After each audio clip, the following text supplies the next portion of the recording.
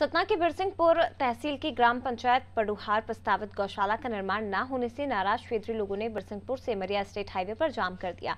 ग्रामीणों का कहना है कि कलेक्टर के आदेश के बाद भी गौशाला निर्माण नहीं कराया जा रहा है।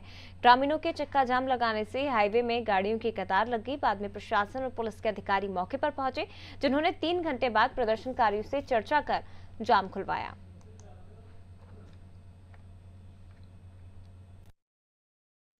एसडीएम साहब को हमने विधिवत ज्ञापन दिया था।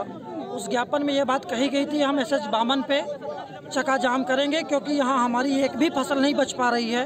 पूरा इतना मवेशी है कि पूरी रात हम लोग फ़सल ताकते हैं। अभी रात में चार छः दिन पहले, दस दिन पहले आपको भी खबर होगी कि बाघ का हमला हुआ था। एक किसान उस पर पेड़ में चढ़ के अपनी किसी तरह जान बचाया।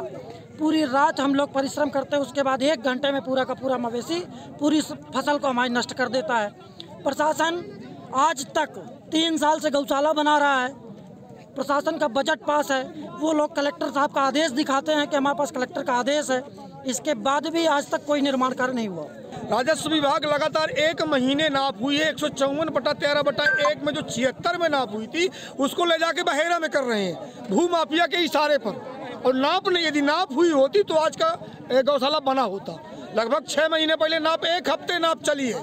और उस नाप को ले जाकर नकेली और बहेरा की नारी में कर रहे हैं। जबकि सन छिहत्तर की फ़ील्ड बुक सहित माननीय तहसीलदार साहब को लिखित रूप में दी गई। तहसीलदार साहब ने आरआई को मार्क किया है, और आज तक उसका कोई यदि ये हो गया होता तो ये व्यवस्था नहीं होती। मांग उनकी वही है कि जहाँ पर ज़मीन एक चौवन बटे तेरह जो कि नाप दिया गया है, वहाँ पर गौशाला बनना है। तो गौशाला तत्काल नहीं बन सकता, वैकल्पिक व्यवस्था के रूप में गाय को जहाँ पर से रखा